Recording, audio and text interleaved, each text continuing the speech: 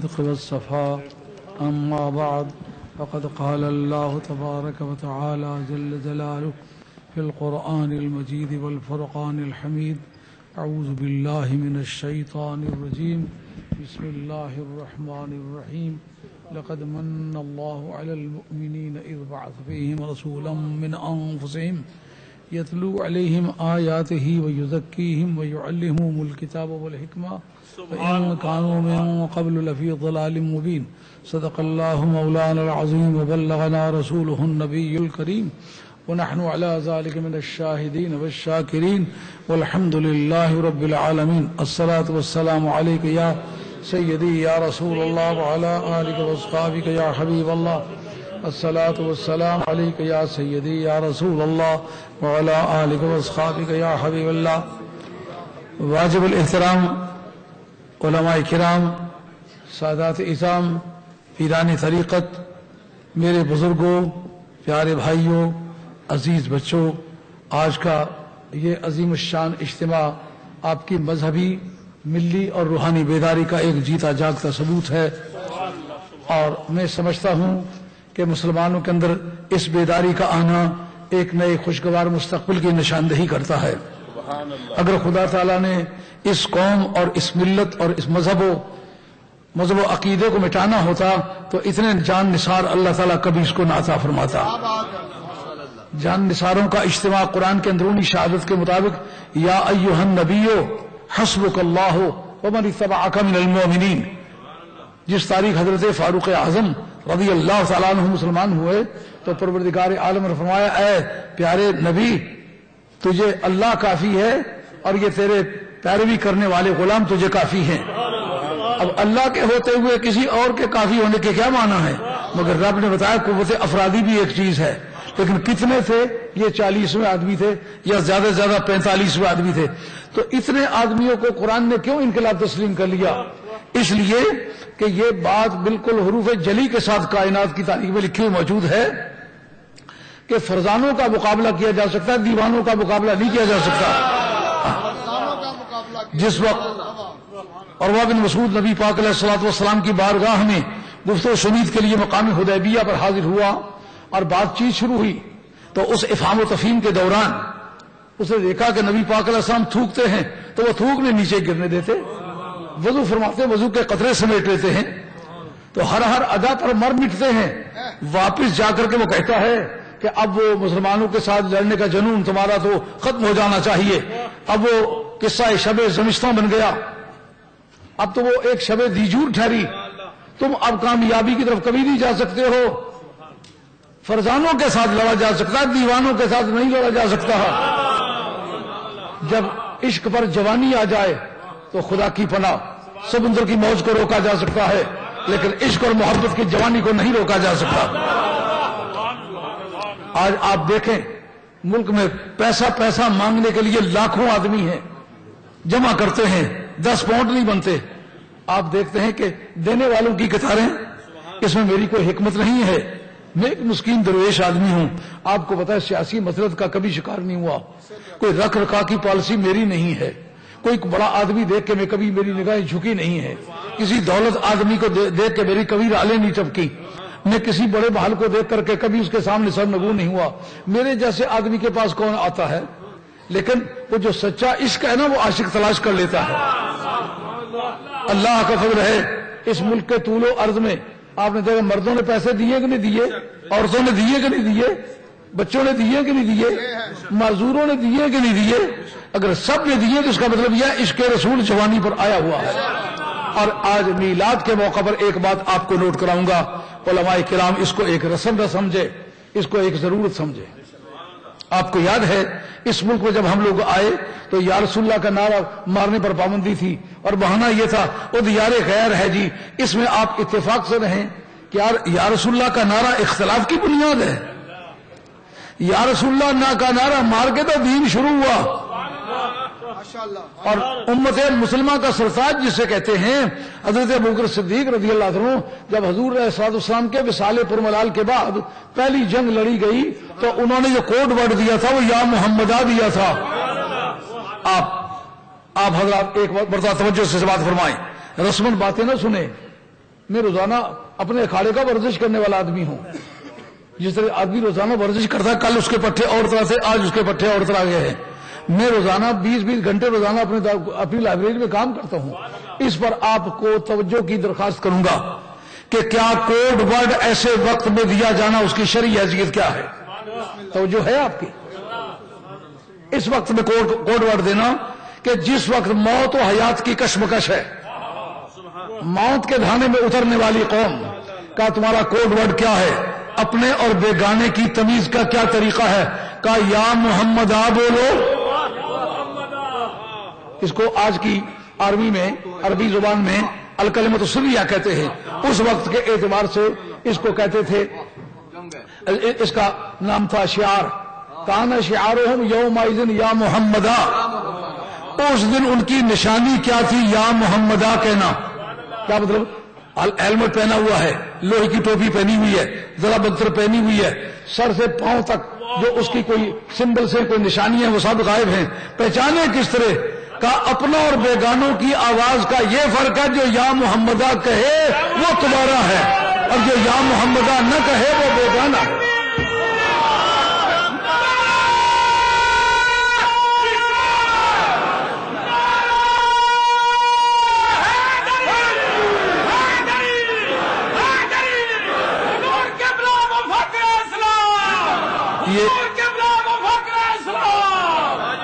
आम तकरीर नहीं ये टीवी पर बरायास ब्रॉडकास्ट हो रही है।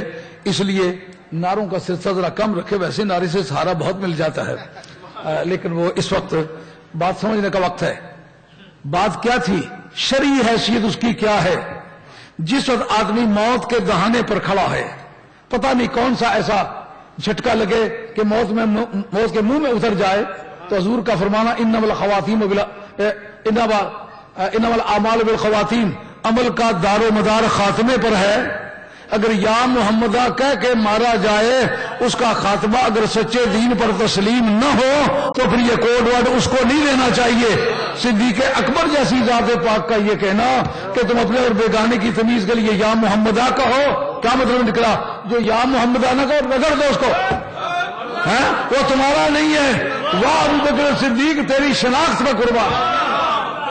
तेरे मिजाज नब्बाजी पे कुर्बान। अपने और बेगाने की तबीयत पे कुर्बान। सरकार ने सुनीत की क्या तारीफ़ दी है? माँ अना असकाबी। जिस अकीदे पर मैं और मेरे साहबा उसका नाम सुन्नीत है। यार रसुल्ला से रोकने वाला सुन्नी क्यों कहलाता है? हा? और शरी हैसियत फिर इसको एक बार तो सोचें। कि मौत के करीब चल करके कहना कि तुमने या मोहम्मदा कहना कि अगर बिल्कुल इस पर तेरी मौत वाक़ा हो जाए तो मेरे कौल के मुताबिक तेरा खात्मा बिलखैर होगा। समझ आप? शरीय ऐसी समझ में आई है? आज के वक्त में अगर कोर्ट वार्ड को आप मुकर करना चाहते हैं, क्या हुक्म है? किसी नाजायज या हराम कलमे को कोर्ट वार्ड मुकर कर सकते नहीं कर सकते। तो सिद्दी के अकबर के वक्त यह कैसा हो सकता था कि नाजायज कलमा हो और उसको कोर्ट वार्ड मुकर किया जाए? फिर लड़ने के लिए कौन गए? तेरह हज़ार आदमी। तेरह हज़ार कौन थे? शहबा थे। तेरह हज़ार शहबा ने अगर उसको तलक्की बिलकबूल के ज़रिए से तलक्की बिलकबूल उलमा की बोली का लफ्ज है, ये बुखारी शरीफ को जो इज़्ज़त मिली है, ये बुखारी की वजह से नहीं मिली तलक्की बिलकबूल की वजह से मिली है। उलमा ने उसको कबूल किया है, जितने मुश्तहिद और गैर मुश्तहिद साहबा थे, सारे के सारे, तेरह हज़ार आर्मी बनती थी, तेरह के तेरह हज़ार आदमी इसको कबूल किया तो क्या जनाब इस पर इजमा उम्मत नहीं बनेगा है? जब एक आदमी ने भी उसमें इख्तलाफ नहीं किया, सिर्फ़ मुश्तहिदीन इकट्ठे हो जाए तो इजमा बन जाए। अगर मुश्तहिद और गैर मुश्तहिद सारे इकट्ठे हो जाए तो फिर इजमा कैसे न बने? इसका मतलब यह है कि या रसुल्ला कहना यह उस वक्त की पुकार थी और इसको इजमा उम्मत की हैसियत हासिल है। हम जब इस मुल्क में आए तो कहते थे, ये बरेलवी एक फिरका है। हमने उस पर वादे करना चाहा कि हम लड़ेंगे नहीं। कानून को हाथ में नहीं लेंगे। किसी को ज़रूर नहीं पहुंचाएँगे। सिर्फ़ हम अपना वेट दिखाएँगे। तुम कहते हो सुन्नी फिरका है, हम कहते हैं सुन्नी असल में वही है जो बरेलवी है। ये सुन्नीत का मेयार है। बरेलवी कोई मदरसा मदरसा तकलीद का नाम नहीं है, मदरसा तहकीक का नाम है। उनका काम तहकीक करना है, उनका नाम कोई, वो खुद मुखलद नहीं बनाते, लेकिन इस मुल्क में जो उन्होंने काम किया है सुनीत को निखार के उन्होंने दिया है। तो अब उस उसूल की बुनियाद पर ये समझना कि जिस अकीदे पर मैं अकीदे पर मैं वो आले सुनत का अकीदा है। तो तेरह हज़ार साहबा जिस अकीदे पर थे, वो फिर सुनीत से खारिज है क्या? हमने फिर पूरे मुल्क में ऐलान किया। हमने कहा, तुम कहते हो हम फिरका हैं। हम कहते हो तुम फिरका हो। किससे पता चलेगा? इकट्ठ करेंगे। या रसूल्ला कहने वाले इकट्ठे हो जाओ। सरकार को नूर मानने वाले इकट्ठे हो जाओ। सरकार की बारगाह में अल्लाह के दिए हुए उलूम गैबिया का फैजान तस्लीम करने वालों इकट्ठे हो जाओ। सरकार के दुनिया से जाने के बाद पहली ज़िंदगी के मुकाबले में ज़्यादा अच्छी ज़िंदगी गुजारने की सलाहियतें रखने वाला नबी मानने वाले इकट्ठे हो जाओ। और कयामत के मैदान में शफी अलवरा खा जाए शादी तेरे कलाम पे कुर्बान। शादी को लोग समझते शायर है। मियाँ साहब को लोग शायर समझने लगे। हालाँकि एक बड़ा चोटी का आलिम दीन है। शादी एजुकेशन मिनिस्टर रहे हैं, बगदाद की यूनिवर्सिटी में, जहाँ सरकारी बगदाद ने पढ़ा है। उस मदरसे में सरकारी बगदाद तो पहले पढ़े, शादी बाद में आए हैं। लेकिन उस उस मदरसे के कभी प्रोफेसर भी रहे हैं शादी। मरादर निजामी अदरार बूथ तालीम तकरार और आदबूद ये भी उन्होंने दोस्तों में कहा है। तो शादी जो है, एजुकेशनल मिनिस्टर भी रहे, क्या कहते शफी अलवरा खा जाए बात समझ। गजब का कलमा है, आप उलमाए कराम को दावत दूँगा, एक मिनट ध्यान करें। हाफिज अपने चंद आदमी, दस आदमियों का शफी होगा। हर हर नबी अपने मानने वालों का शफी होगा।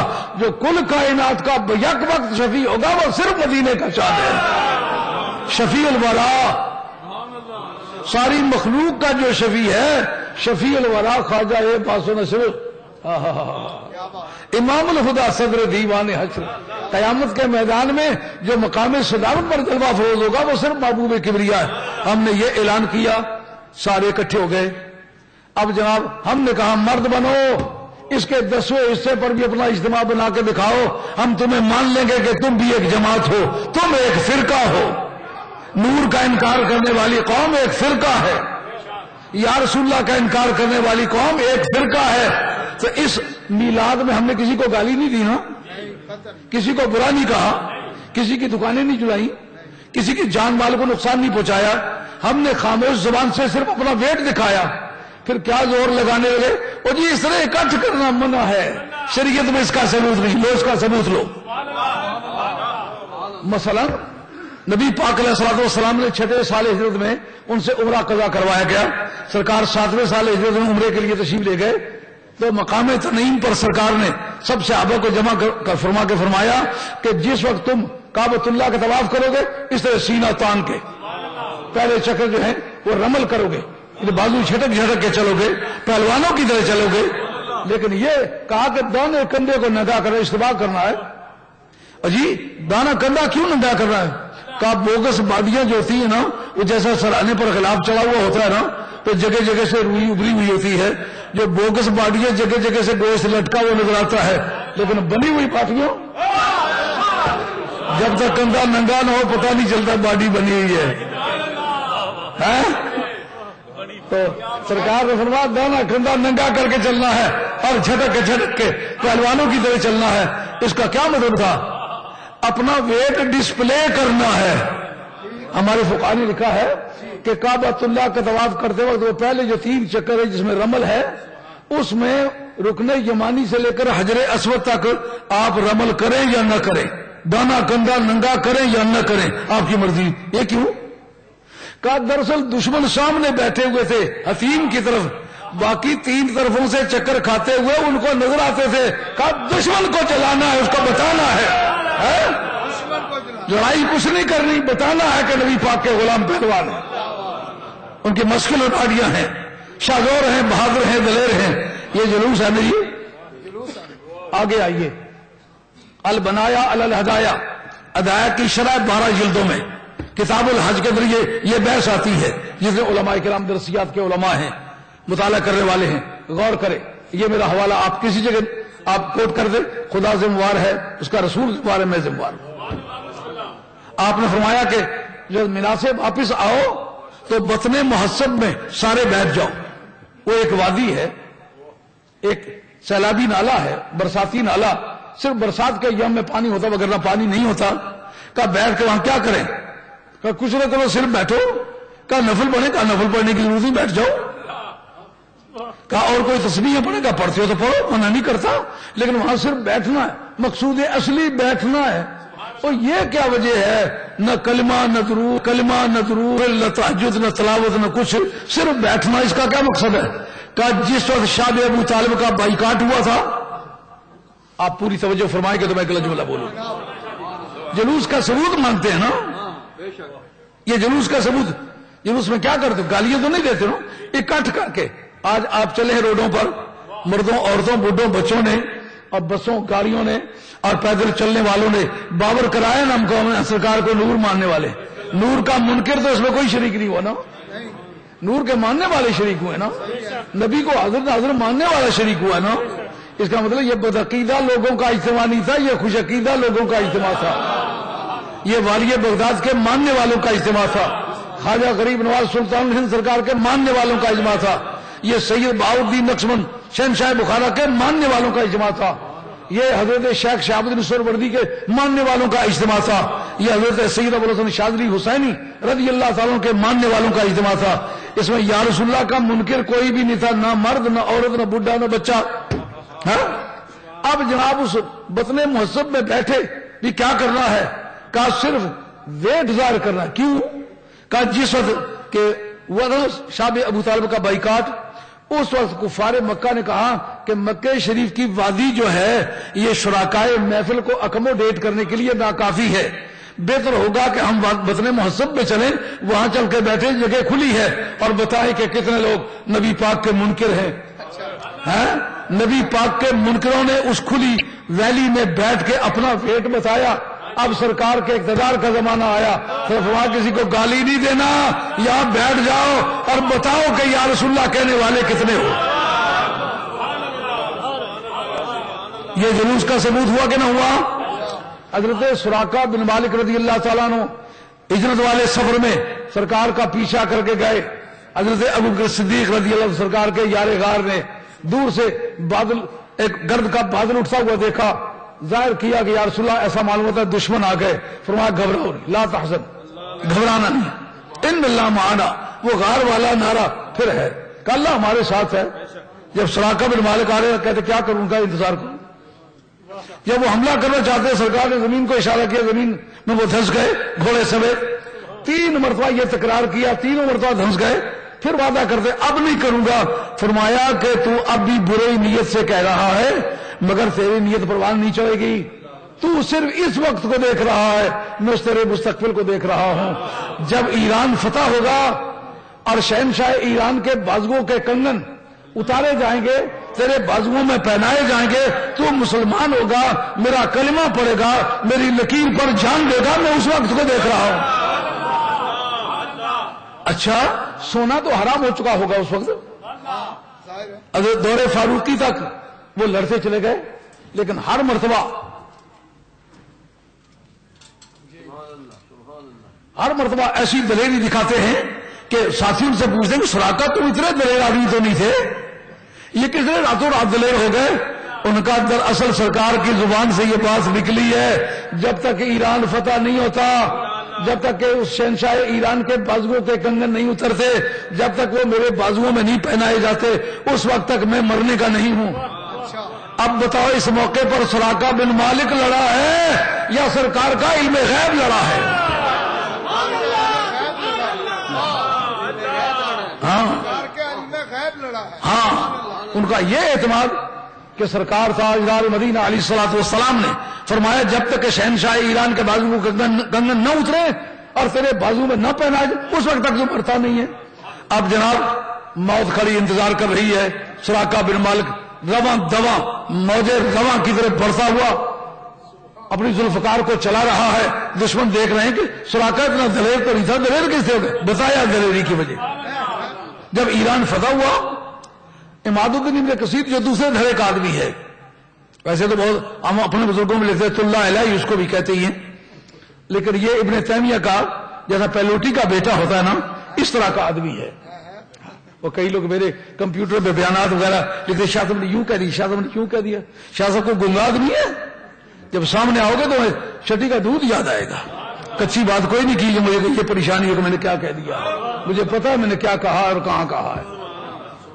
इमादुद्दीन अलबदाया वन कर लिखता है, जिस वक्त ईरान फतह हुआ, उस वक्त सोने के कंगन शहनशाह ईरान के बाजू से उतारे गए। जनाबे उम्र फारूक रज़ी अल्लाह कहते हैं, सुराका कहाँ है? का ये कंगन उसको पहनाने हैं।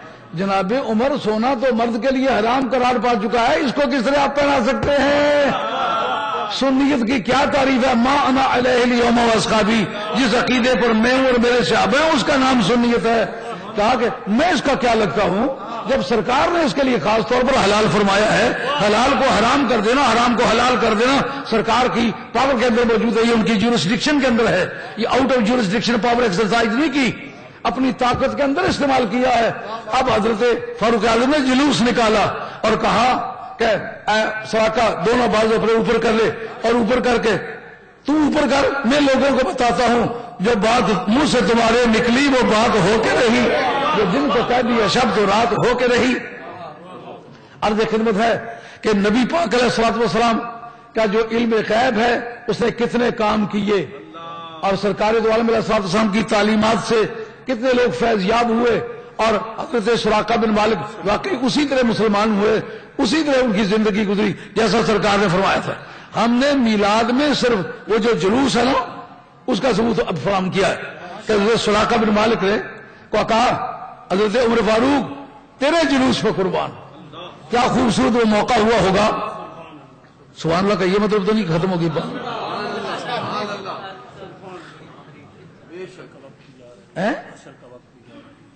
असर का वक्त है वो। असर तो है। जुलूस का सबूत तो मिल गया ना। क्या वो खूबसूरत वक्त हुआ होगा? जब दियार पाक मदीना की सरजमीन हुई होगी फारूक आज़म का दौरे खिलाफत हुआ होगा और सराका बिन मालिक ने सोने के कंगन पहने हुए होंगे। और सोना हराम है का मैं सरकार को मुख्तार कुल मानता हूँ। मैं सरकार को मुख्तार कुल मानता हूँ। ये किसका मतलब है? हज़रत उमर का मज़हब है। अगर मुख्तार कुल मानना मज़हब उमर है तो फिर सुन्नीत किसका नाम है? हमने जुलूस निकाला। अब देखिए किस मौके पर सरकार के मीलाद के मौके और किसी मौके पर जुलूस क्यों नहीं निकालते? दरअसल कुरान के नाजुर होने के बाद कोई जुलूस नहीं निकला। पहले ऐलान नबूद का कोई जुलूस नहीं निकला। सही है। लहरत कदर के वक्त कोई जुलूस नहीं निकला। महराज की रात कोई जुलूस नहीं निकला। लेकिन जो सरकार का मीलाद है उस तारीख निकला है। अम्बियाल मुसलाम सरकार की जियारत के लिए आए कि नहीं आए? गर्म है मिस्र का बाज़ार तेरे कूचे में, आते जाते हैं खरीदार तेरे कूचे ये बात हुई कि ना हुई? फिर उस इबादत के कितने निज़ाम थे? पानी को पूजा जाता था, आग को पूजा जाता था, सितारों को पूजा जाता था, बुतों को पूजा जाता था। अब सरकारी तो अलम का जो मीलाद है, उससे जो इनकलाब उस पर गौर करें। अब बेशक पढ़े लिखे लोग काफ़ी मेहनत मुताला करने वाले सियासी मैदानों में उतरे हुए लोग लिखने पढ़ने वाले लोग, अखबारी नुमाइंदे सभी हो। लेकिन उम्र गुजरी ऐसी दश्त की सयाही में। हम समझते हैं, जिन सराओं से हमारा गुजर हुआ है, वहाँ हमने किसी सैरान वर्द के पाँव आगे लगे हुए देखे नहीं है। इसलिए इन बातों को अपनी इतलात में शामिल करूँ ये कितने इदारे थे? बुतों की पूजा एक, सितारों की पूजा दो, आग की पूजा तीन, पानी की पूजा चार। ये पूजा के चार मशहूर इदारे थे। क्या ख्याल है कितना खर्चा हुआ होगा? जिस बंदे ने पहली मरतबा बुतों की पूजा मक्के शरीफ शुरू की है वो उमर बिन लुहई है। अच्छा। उमर बिन लुहई। उसने सरकारी द्वारा की विलादत बासादत से तीन सौ साठ वर्ष पहले बुत वहाँ कायम की है। क्या मतलब निकला ये उस आदमी की पूरी बादशाही की ताकत का इस्तेमाल हुआ जिस आतिश कदे में एक हज़ार बरस आग बुझी नहीं होगी उसका खर्चा कितना आया होगा? और उसके जो समाधि सबॉर्डिनेट इदारे हैं, उन पर कितना खर्चा आया होगा? अब सितारों की पूजा, जिन्होंने लोगों ने सलासे पर डाला, लोगों को कई कई तरीकों से उन्होंने समझाया होगा। अब सरकार तो आलम तशीफ लाए, सरकार का मीलाद है। अब ये इनकलाबी जुमले हैं आखिरी, या आप जहन में रख लें, मेरी तरफ़ तवज्जो करनी होगी। आगे पीछे नहीं देखना। और किसी के बल्ले तेन तकड़ मूल नहीं देना। ये मोहब्बत का एक प्रिंसिपल है। बात समझ आ रही है? मशहूर इदारे जो हैं, आले बातल के और माबूदा ने बातला के और शिरक के, और जिसको मीलाद शिरक कहते हो, वो मीलाद असल में शिरक के खात्मे की स्ट्रेंथ है। वो किस तरह? आतिशकदा ईरान सरकार के ज़मीन पर कदम रखने के साथ ठंडा हुआ कि नहीं हुआ? अब अगर उसको आतिश करे के निज़ाम को कोई खत्म करना चाहता, पूरी दुनिया में लड़ाइयाँ होती, ये दुनिया की दो बड़ी मुतारफ ताकतें थी। पर्शियन एम्पायर और रोमन एम्पायर जनाब ये जो क्यानी लोग है ना क्यानी लोग है ना मज़हब था। और पूरे मुशरक पर इनका कब्जा था। जो उनका आतिश कदा जलाने के बुझाने के लिए जाता उसके खैर होती। वाह महबूब कबिया तेरे मीलाद पर कुर्बान। कदम रखा मक्के शरीफ पे। और आतिश कदा ठंडा हो गया ईरान में। क्यों जनाब? एक इदारा आतिश परस्ती का सरकार के मीलाद के जुलूस में बंद हुआ कि ना हुआ? बहरा सावा शाम में था। उसकी पूजा की जाया करती थी। सुबह के वक्त जब पुजारी गए तो देखा तो सारा वो बहरा खुश्क हो गया हुआ है। उसमें कोई पानी का निशान नहीं। और बाकी दुनिया के पानी नहीं खुश्क हुए। समुद्र का पानी खुश्क नहीं हुआ। खासतर वो हरा सावा क्यों खुश्क हुआ? उसे पता नहीं लागे मुस्तफ़ा आ गया है। है? आले बातिल को खुश्क होने की आदत है, है? समझ आई ना आई? और कोई और कोई पानी खुश्क हुआ? और किसी को गम हुआ शैतान के सिवा? सरकार के मीलाद का जो जुलूस है, वो आ रहा है। जब आनंद आनंद। बहरा साबा खुश्क हो गया। सितारों की पूजा करने वाले सितारों के सामने सीधे कर रहे हैं। सितारों को देखा सरकार द्वार में असम की बारगाह का परदखना कर रहे हैं। सरकार के बारगाह का तवाफ कर रहे हैं। सरकार की बारगाह का तवाफ हो रहा है। और अब सितारों ने कहा क्या कहा? हम इस तरफ़ झुकते हैं। आग ने क्या कहा? हम, मैं इस तरफ़ झुकती हूँ। पानी ने क्या कहा? मैं इस तरफ़ झुकती हूँ। पूरी रुए ज़मीन के जितने भी बुत थे, सारे के सारे मुँह के बल गिरे। और कितनी मज़े की बात के काबे के बुतों के गिरने का मौके का गवाह एक्सकल्बिटरी एविडेंस है? मुखालिफ धरे की मुआफिक शहादत अबू जेल कहता, मैंने वो बुत गिरे हुए देखे। नगसतम अला वजूहा सारे के सारे बुत गिरे। अब बुतों ने भी किधर मुँह करके किधर गिरे हैं? अगर आप मक्के शरीफ गए हों तो आपको ये जायजा लेना चाहिए। तो सर शिमाल मशरकी कोना जो है ना, उस कोने की तरफ़ सारे बुतों का रुख है। अबू जेल कहता अगर इतफाक से गिरे होते, किसी का मुँह इधर होता, किसी का उधर होता सबका मुँह एक ही तरफ़ है। मालूम होता है कि इन बुतों का भी कोई इमाम है और मिलकर इन्होंने बाजमात इधर सीधा बारगाह में किया है।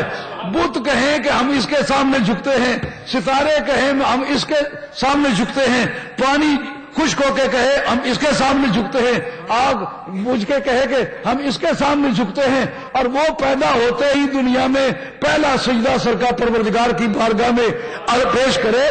हाय हाय हाय हाय। सरकार का वो पहला सजदा जो है पहले पहले सीधे पर रोज़े अजल से ज़रूर पहले सजदे पर रोज़े असल से ज़रूर हाँ हाँ हाँ हाँ यादगारी है उम्मत पर लाखों सलाम। वो पहला सजदा जो है, वो तोहीद का पहला सबक बन गया। आज बहरा साबा खुश्क हो गया आतिश कदा ईरान ठंडा हो गया, सितारे गिर के बारगाह में आ गए, सारे बुतों ने रुमू करके सजदा कर दिया। अब सरकार का बारगाह खुदाबंदी में सजदा करना, ये सारे जो बुत गिरे होंगे जुलूस बना होगा कि नहीं बना होगा? पूरी रुए ज़मीन के बादशाहों के तख्त उल्टे। सब उल्टे पड़े हुए हैं।